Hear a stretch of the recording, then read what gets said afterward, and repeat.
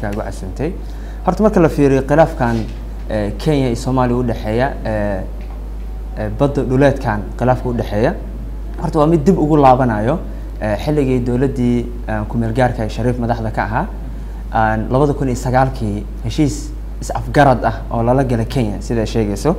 Heshiiskaas iyo waxyaabaha aan baddaas iyo yacni kenya wax ka qodanaysay kadibna eh, dowladdii aan dhehe ee ku-meel gaarka ahaa markay kenya la hadleen oo kadibna is-afgarad ah in dhulkan muran iyo dood uu ka jaadanayo soomaaliya aysan raalli ka ahayn meesha kenya wax ka baarayso. Kenyan ay already kambaniya ajaaniba meesha geysa oo baaritaan xog ku saabsan meesha inay shidaal ku jiraan in kale ay wadeen. Horta halkaasuu dib ugu laabanaa oo labada kun iyo sagaalkii heshiiskii heshiiskii is-afgaradka ee lala galay kenya sida ay ku ducinayso halkaasuu dib ugu laabanaa wuu soo jiitamayay ilaa markii dambe keiskan la geeyey maxkamadda cadaaladda sijida loo gudbiyey oo ilaa haddana keiskana meesha u yaal oo ahaa murankaas badda xuduudda yar oo kenya iyo soomaaliya eh, xuduuddaas qaabka loo jeexay ama qaabka loo maamulayo halkaasay dooda ka tahay marka meelahaasna waxaa ku jira sida caadiga xogta hadda lahayo eh, shidaal badanaana ka buuxa blogyo badanaan ku yaalla eh, ugu yaraan afar blog camalaa ku yaalla oo kenya iyo soomaaliyana isku haysta waana meel xuduud ah. Marka halkaasoo muranka uu ka taagan yahay halkaasoona dib ugu laabanaa. Labada kun iyo sagaalkana dib ugu laabanaa muranka hadda khilaafka diblomaasiga hadda kenya iyo marka soomaaliya. arrinta murunkii hore u dhexeeyey ee labada kun iyo sagaalkii soo bilowday waxaa leedahay weli halkiisu ka sii socdaa. Oo oo bartii khilaafkii waxaan ognahay in dowladdii kumeel gaarka ahayd gaar ahaan wasiirkii xilligaasi joogay iskaashiga calin cabdiraxmaan cabdishakuur in iyo dowladda kenya ay heshiiskaasi ay saxiixdeen. Waxa la saxiixday ma heshiis dhaba oo badda in kenya toos loogu wareejiya ahayd amaba ama waxay ahayd in kenya oo keliya ay maaragtay badaha soomaaliya ka kalluumaysato ama khayraadkeeda wax ka qaadato muxuu ahaa heshiiska dhabta horta ee la wada gaaray horta heshiiska waa memorandum of understanding ah. Waa isfahan laba dowladood ay galayaan. Marka arrin meesha taagan ay isku fahmi waayaan in arrinkaas qaabka ay uga wada hadli karaan iyo processka loo mari karo marka la rabo in wada xaajood laga gaaro. Heshiiska haddaa fiirisid ka soomaali ahaan anaga ahaan heshiis sharci ah ma noqon karo waayo baarlamaankaa loo gudbiyey wuu soo diiday oo yacni aan aan ma noqon heshiis eh, sharci ah oo aan maanta dhihi karno cagteena sharci uu ka yahay marka waa isfahankaas ah ma ka wada hadli karnaa arrinkan Eh, adduunyadana ma loo gudbin karaa oo maxkamadaha i c g da haddii xitaa aan isku fahmi weyn waa case saas camal ah. Marka aan laakiin heshiis dhab ah oo heer caalami ah oo weliba qaramada midoobe ka yaalla aan aan aan aan i hope yani ma u maleyna in levelkaas oo dhan uu gaarsiisan yahay maadaama dee anakan baarlamaankan ay diideen ay dhan waxaan wax soconaya oo aan qaadan karna ma aha. Anakana aggeeda agteena sharci ka ma aha. Marka haddii kenya ayaka ay u maleeyaan in agtooda sharci ka yahay laakiin somaliland marka la fiiriyo wax sharciga kama noqonayo marka heshiis levelkaas dheer gaarana maaha waa isfahan laba dowladood. Arrin markaas u dhexeeya ay ku muraysan yihiin qaabka loo xallin karo iyo hanaanka loo mari karo keliya ku kooban waayo waa gartay haddii aan u soo laabano ee, arrintan ee, hadda soo cusboonaatay ee, diblomaasiyadda la xiriirtay ee labada wadan waxaan ognahay kenya waxay soomaaliya kala baxday safiirkeedii. Sidoo kalena waxay dalkeeda ka soo saartay safiirkii soomaaliya halkaasi u fadhiyey arrintaas tallaabadaas diblomaasiyadeed ee kenya ay qaadisay kula muuqataa? Caadi ahaan haddii la fiiriyo horta kenya eh, ani ahaanteed wuxuu ila muuqdaa go'aanka diblomaasi ay qaateen. Eh, safiirkan ay yani waxaa waaye ay u soo direen soomaaliya koodana ay la baxeen. Horta go'aan lagu degdego ahaa in diblomaasi ahaan marka la fiiriyo xeyndaanka diblomaasiyaddana go'aan wuxuu ahaa yani aan aan yani go'aanka ugu dambeeyey oo ay qaadan karaan ay ahayd. Marka waxay ahayd maadaama ay rabaan fariintooda ah inaysan ku qanacsaneen xiriirka diblomaasi ay leeyihiin soomaaliya iyo qaabka soomaaliya oo la macaamilaysa kenya go'aano kale ay ku muujin karaan ama tallaabooyin kale ay qaadi karaan oo tan hadda ay qaateen ka khafiifsan aa jiray. Taas hadday mari lahaayeen yani kadibna waxaa maogta fariina rabaa inay diraan. Marka hadday taas mari lahaayeen tallaabo labaadna ay qaadan haddii weliba dowladda somaaliya aad uga dhex adeegto go'aanka saddexaad ay qaadan karaan ahayd midda hadda ay sameeyeen. Marka aad u tallaabsadeen oo way degdegeen go'aanka ay qaateen. Ani ahaanteeda wuxuu ahaa go'aan aad u culus oo meesha ugu dambeeyey oo ay qaadan kareen ama go'aanka ugu dambeeyey ay samayn kareen oo ahaa. Diblomaasi ahaanna wuxuu diraa fariin aad u culus. Caqabad badanna way ka dhalanaysa oo labada dhinac taabanaysa. Marka go'aan wuxuu ahaa fudeed iyo deg deg uu ka muuqday kenya dabcan hadda waxay eh, ay sheegtay in eh, iyada aysan amrin in safiirkii soomaaliya uu dalkeeda ka baxo oo keliya kooda ay u yeerteen laakiin la tashi oo keliya inuu safiirka la soo sameeyo madaxda soomaalida. Marka ma moodaa in hadda ay ka shalaanayso kenya go'aankii ay qaadatay aad iyo aad way ka shalaanaysaa amarkaas yaa iskale dowladda soomaaliya la rabo inay safiirkeeda u fadhiya kenya haddii lacala problem dhacay inay u soo gudbiyaan. Kadibna soomaaliya inay dhahda soo casunta idhahda noo imaw sida kenya ba keeda u wacday. Dowladda soomaaliya kan kenya inta jooga ayada maa dhahda bax la soo tasha maya dowladda kenya wasaaradda arrimaha dibadda kenya u soo wacday. Ninkan dhahda noo imaw fariintaas xitaa wicitaanka hadday ku koobi lahaayeen oo ninkaas la waca leey waan la soo tashanaynaa. Waa one go'aan ama hal go'aan ama hal tallaab ay qaadi karaan. Oo safiirka somalia iska jooga kenya laakiin keena waa wacanayna waan kala tashanaynaa qaabka aan kula macaamili karan xitaa waxay ahaan lahayd fariin khafiifsan. Kenyana waxay dhihi calishaan sida hadda ay leeyihiin oo kale. Oo safiirkan yani isheeg aan soomaaliya u fadhiyay kenya intuu soo aaday koodana way la baxeen macnaha labada safaaradood shaqada ay qabanayeen oo ahayd isku soo dhaweynta waxa la yihahda xiriirka diblomaasi ee labada dal meesha ka baxay. Automatic maadaama uusan safiirka shaqaynin safaaraddan aysan shaqaynin. Marka aan arono ma aqaan marmarsiyo kale u raadinayaan laakiin waa go'aan ay qaateen oo marka la fiiriya adduunyadan ay ku ceebeysan yihiin go'aan deg deg inuu yahayna ay hadda ogaanayaan. Marka i hope inay ka shallaynayaan kenya. Aad iyo aad go'aankaas dabcan markii ay kenya qaadatay oo ay safiirka soomaaliyana ay soo erisay koodana ay la baxeen waxaa aada loo dhowr sugayey go'aanka dowladda soomaaliya. Go'aanada dowladda soomaaliya haddaad mid mid u dul istaagto ma is leedahay waxaa ka muuqday qaangaar diblomaasiyadeed oo dowladda soomaaliya ay gaartay sida ay uga jawaabtay hadalkii ama ama go'aankii kenya. Horta haddii la fiiriyo soomaaliya qaangaarnimo diblo haddii laga hadlayo soomaaliya waa dowlad jirta waa dowlad dhisan adduunyadana yani ictiraaf iyo aqoonsi ku leh qaramo midoob yani kuleh isheeg waxa la yihahda xafiis ku leh. Yani qaangaarnimo siyaasadeed already waa haysanaaba waa leenahay dowladda soomaaliyana way leedahay. Laakiin qaabka ay uga jawaabeen ama waddada ay u mareen waxay tahay wado siyaasadda jilicsan ama soft diplomacy waxay leeyihiin ay u mareen. Waana waxa loo baahnaa wa because haddii la fiiriyo xajmiga iyo awoodda dhaqaale siyaasadeed iyo aqoon maanta soomaalideena yani caga badan kuma taagna. Kenya yani cagta cagta uma saari karna diblomaasiyaan marka la taasaa marka waxay keenaysaa inaad dhinaca kale wax ka fiiriso. Haddaadan awood siyaasadeed mid adag haddaadan adeegsan karin waa in aad dhinaca kale wax ka fiirisaa oo aad si kale u xariiftantaa marka somalia haddii la fiiriyo jawaabta ay ka bixiyeen luuqad ahaan horta waa mid diblomaasiyad xariifsan ah. Caadi ahaan marka la fiiriyana laba arinaaba ugu muhiimsanaaba midda ahayd andacoodkii ama sheegashadii kenya ama eedeyntii kenya ku eedeyneysay soomaaliya ama dowladda soomaliya ay ku eedeyneysay way beenisay waxay dhahday waxba ma jiraan. Waxba lama biin waxba lama xaraashin waxna kama jiraan. Oo dowladda soomaaliyana welina diyaar uma ah weliba. Yani hadal kaloo dheeraada ku daran oo ah inaysan xitaa diyaar u hayn in waxaan waxa kenya ku eedeynaysa inay ku dhaqaaqdo. Taas waa mid. Tan kalena waxay ahayd waxay ahayd marka la fiiriyo tan i c g da arrinka oo kenya runtii aad ugu gubanaysay kiiski ha. Maalintii kenya arrinkan ay soo saareen oo khilaafka diblomaasiyadda soomaaliya ay dhaheen waa waa u jarnay ama ma shaqeynayo maalinta ka horeysa oo sideed iyo labaatan iyo sideedii maalintai soo saareen maalinteeda kale i c g da waxay ka rabtay kenya inay jawaab ka soo jawaabto dacwadihii maxkamadda cadaaladda i c g inay ka jawaab bixiyaan. Marka maalin ka hore khilaafkan abuureen ay abuureen. Marka dowladda somalia waxay dhahday waxay dhahday kayskan oo ah aan ugu eedeyneysaan waxaan leedihin waa xarashteen iyo baddan iyo waxa murankan ah waxaaba waaba case i c g da maxkamadda cadaaladda yaalla. Ayakaana go'aan ka gaarayaan. Please aan sugno adinkana ka war suga anakana aan sugno baqalo marka waxaa jira dowladda soomaaliya kenya u dirtay oo aan is leeyahay jawaabta waa laga dhexeli karaa oo soomaaliya aad uga walacsan tahay oo kenyana waxay uga dhigin kartaa cudurdaar ah. Ha qaadina tallaab hal dhinac ah oo adinka ah. Inaad ku xadgudubtaan meeshaas aan leedihin muranka badan ka taaga. Inaad adinka yani inaad baaritaan iyo inaad kambani heshiis kula gashaan iyo inaad sidaas aan ugu eedeynaysaan adinka ha sameynina anakoo aan adinka ayna idinla ogeyn. Yani unilateral activity ha ku sameynina hal dhinaca waa adinka keliya. Waa ogtihin lakiin aninka ayna waxba ka ogeen ha ku dhaqaaqeen. Waxyaabaha ay dowladda soomaaliya ay kaga didaysa kenya inay sameysay ahayd ma fahamti oo yani lagala soo bixi lagala soo dhex bixi karaa. Yani waxaa waa jawaabtii ay ay soomaaliya u dirtay kenya ka bixisay.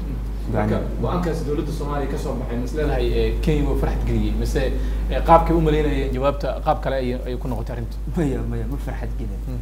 Waxaa ka dareemeysaa isla markiiba waxay ka soo saareen ila ma ogtahay qeybaha dambe dowladda soomaaliya waxay ugu baaqday ama waxay muujinaysa dareen ah inay diyaar u tahay inay dib u soo celiso cilaaqaadkii kenya iyo soomaaliya ka dhex maadaama ay yihiin laba dal walaalo ah deris ah yani wax badanna uu ka dhexeeyo cilaaqaad ahaan ama siyaasad ama dhaqaale ahaanba xiriir fiican yani waxyaaba badan oo ka dhexeeya inay jiraan.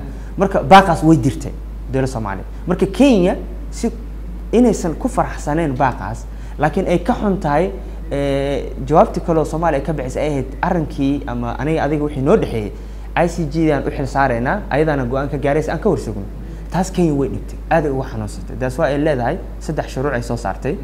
Eh, saddexda shuruuc kan ugu dambeeya haddii la fiiriyo waa mid kan hadda jawaab u noqonayo ay leedahiin yani laga dareemi kara kenya inaysan ku qanacsaneyn. Marka waxay dhahdeen keiskan maxkamadda i c j da yaalla.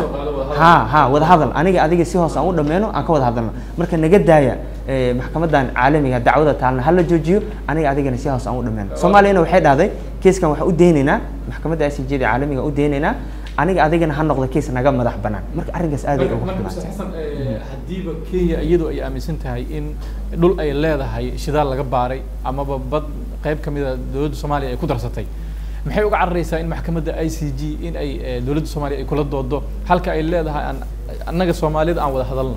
Maxay tahay sababta ay si gaara ugu ordaysa arrintaas? Sababtu waxay tahay anaa kuu sheegaa sababtu waxay tahay maxkamadda i c j waa maxkamad caalami ah.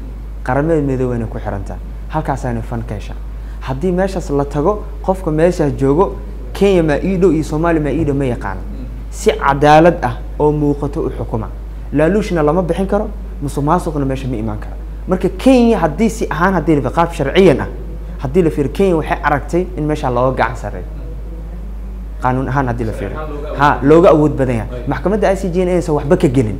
Yani aysan xitaa haddii gorgortan diblomaasi iyo dhaqaale iyo laaluushi wax la ee bixin lahayd xitaa in aysan cid ka ogolaanaysan meesha inaysan jirin.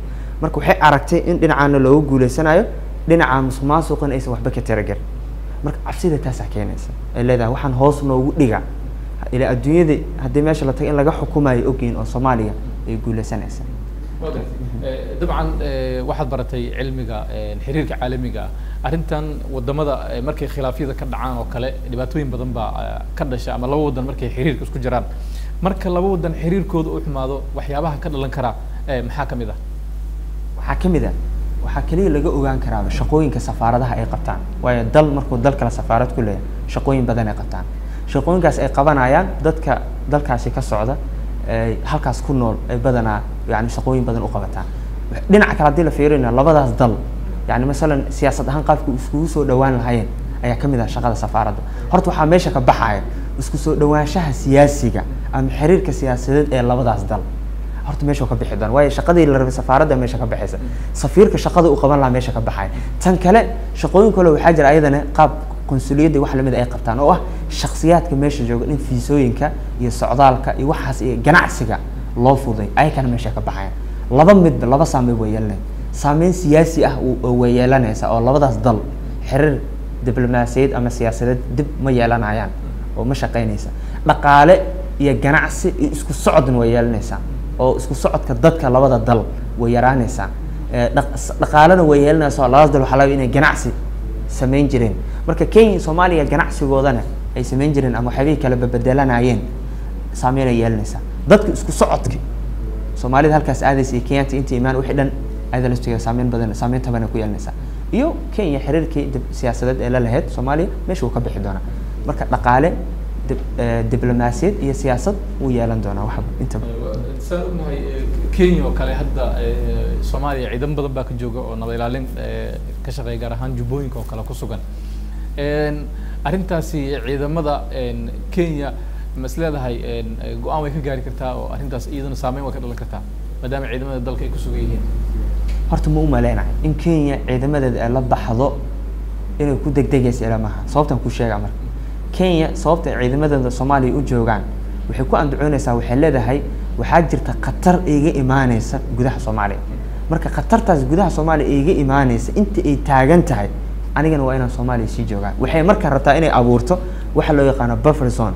Yacni aag yani udhexeeya soomaaliya iyo kenya khatartana ka caagan yani soomaalida sida ay dhahaan biyo intaysa ku soo gaarna iska moosaan. Marka waxay leedahay intii aniga khatarta gudaha igu imaanayd waxaan abuuraa meel ka fog xuduudeeda banaanka ka ah oo oo khatartaas aysan iiga imaan karin. Marka buffer zonkaasay rabaa inay abuuraan ciidamadoodana daas waa ay gudaha u joogaan. Marka waxay leedahay khatarta weli way taagan tahay oo soomaaliya iiga imaanaysa marka ciidamadeena marka waxay leedahay haddii marka ay dhahda kenya waa ka baxaa shalmee daraadna waxay u soo gashay inay khatartaas ka hortagto hadday maanta ay ka laabatana weli kenya khatartii way dareemaysaa. Oo hadda hoteelka ugu dambeeya la weerarayo oo hadda ha ha tii hadda dhacdii dhacayso kale kenya. Marad way heleen waxay leeyihiin still problemka welina haysta. Marka ma u maleynaya in ay ku degdegaan ciidamadooda la baxaan. Waayo waxay u arkaan inay tahay maslaxad amni qaran. Waxa loo yaqaan national security inay khatar ku tahay marka aan mu malayno ku ee soomaaliya hadda ay leedahay kenya waa qaadka ay keento. Laba iyo toban diyaaradooda la sheegaa in eh, soomaaliya gaar ahaan magaalada muqdisho maalin kasta yimaadaan oo afar boqol oo kun oo dollar ka badan ay la laabtaan.